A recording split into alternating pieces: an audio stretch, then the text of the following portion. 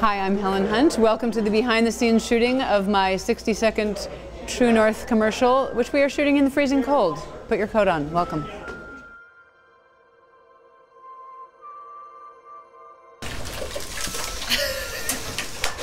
and action.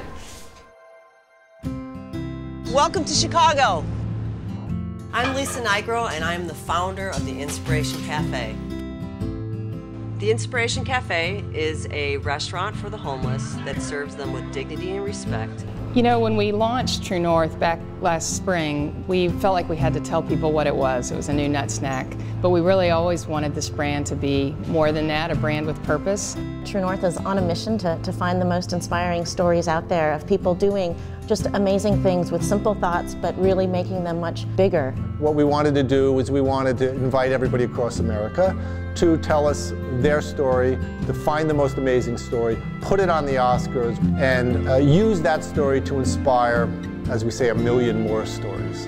When we started this whole program, we thought, boy, if we can get two or 300 people to turn in their True North stories to us, we'd consider that a success.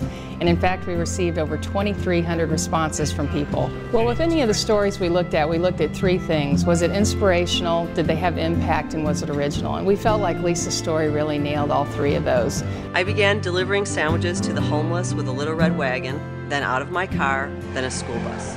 Now the cafe has three restaurants, job training, housing. I want people to feel her spirit. I want people to feel this city and her love for this city.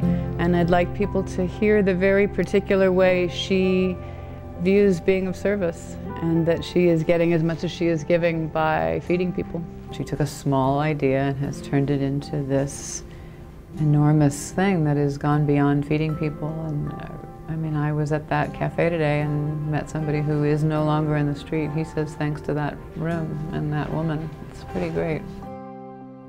The magic of the Inspiration Cafe is to, to know that someone's waiting for you, to know that you would be missed if you didn't come into the cafe, and to think about that in your life is incredible to think that someone's waiting for you.